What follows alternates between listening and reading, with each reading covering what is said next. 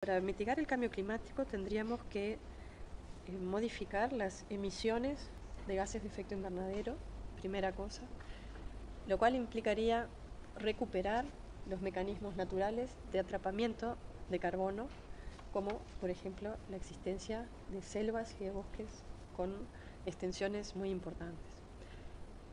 Esa sería eh, la principal medida de mitigación y hacer cambios tecnológicos para disminuir las emisiones. Disminuir las emisiones de CO2, de metano, de óxido nitroso, que son gases que provienen de industrias, pero también que provienen de mal uso que hacemos del suelo. Provienen de eh, cambios que hacemos en la cantidad de agua, en las condiciones de oxigenación, en la ganadería. La ganadería emite también muchos gases, como el metano.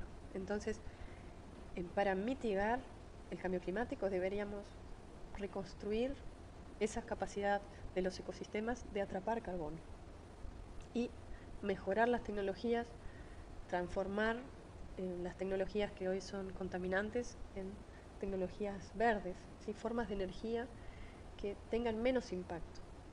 Es prácticamente imposible pensar que no va a haber impactos por el consumo que, hacemos de los recursos naturales y por la generación de energía. Pero existen formas de disminuir esos impactos. Y creo que los intentos todavía son muy tímidos, ¿sí? Y de cambiar esas, esos aspectos.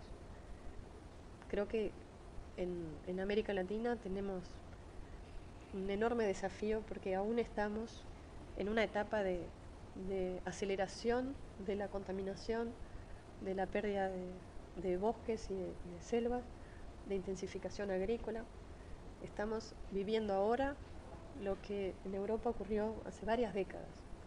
Entonces, mm, creo que estamos desaprovechando la oportunidad de desarrollarnos con un desarrollo que sea sostenible. Creo que todavía no nos, no nos damos cuenta de esa oportunidad.